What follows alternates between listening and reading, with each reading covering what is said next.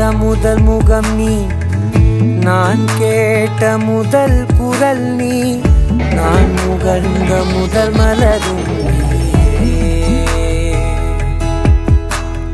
பத்து மாசம் எங்களை சுமந்த அம்மா இரத்த வேர்வை சிந்தி எங்களை உழைத்து படிக்க வைத்து ஆளாக்கினாய். நீ இந்த மண்ணில் இருந்தவரை தாய் விண்ணேறியதும் நீ எங்களுக்கு கடவுள். கருவில் சுமந்த தாய்க்கு ஒரு கோடி ரூபாய் மதிப்பில் கோவில் எழுப்பிய மகன்கள். பெற்றெடுத்த எங்களுடைய தாய் எங்களை விட்டு எதிர்பாராத விதமாக உடல்நிலை சரியாக சரி ச- சரியில்லாமல் தவிர்க்க முடியாத காரணத்தால் எங்களை விட்டு சென்ற கவலை எங்களால் மறக்க முடியாமல் அதை நிவர்த்தி செய்வதற்கு என்ன செய்ய வேண்டும் என்று நாங்கள் மூணு பேரும் நினைத்ததில் எங்கள் மூணு பேருக்கும் நினைவில் வந்தது தாயை நம்ம நம்மளோட எப்பவும் இருக்க வேண்டும் என்று நினைத்தோம் அந்த நினைவுக்கு அவங்க கஷ்டம் எங்களை கஷ்டப்பட வளர்த்ததுக்கு ஒரு நினைவு பரிசாகத்தான் எங்களை மாதிரி எல்லாரும் தாயை மதிக்கவன் நினைத்து இந்த கோவிலை கட்டி கும்பாபிஷேகம் இன்று சிறப்பாக நடந்திருக்கு. சிவகங்கை மாவட்டம் பட்டமங்கலம் அருகே உள்ள வெளியாறை கிராமத்தைச் சேர்ந்தவர் கருப்பையா. இவரது மனைவி முத்துக்காளி அம்மாள். இந்த தம்பதிக்கு சண்முகநாதன் சரவணன்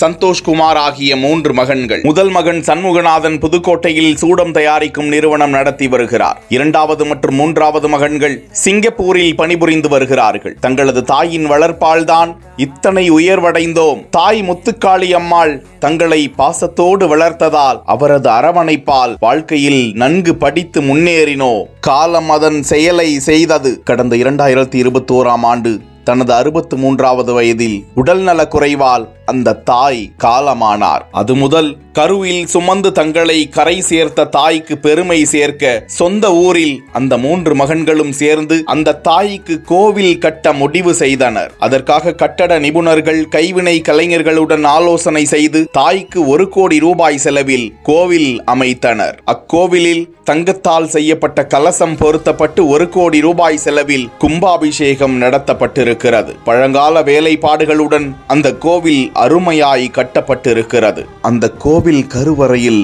ஐநூற்றி எண்பது கிலோ எடையில் தாய்க்கு ஐந்து அடி உயர ஐம்பொன் சிலையை பிரதிஷ்டை செய்து யாக சாலைகள் அமைத்து நான்கு கால பூஜைகளுடன் யாக வேள்வி நடத்தி வேத விற்பன்னர்கள் வேத மந்திரங்கள் முழங்க நாதஸ்வரம் செண்டை மேளம் ஒலிக்க கணபதி ஹோமம் உள்ளிட்ட சிறப்பு பூஜைகள் நடந்தன. யாகசாலையிலிருந்து கலசங்கள் கோபுரத்திற்கு கொண்டு சென்று புனித நீர் ஊற்றப்பட்டு கும்பாபிஷேகம் நடந்தது. உறவினர்கள் கிராம மக்கள் என ஆயிரக்கணக்கானோர் பங்கேற்றனர்.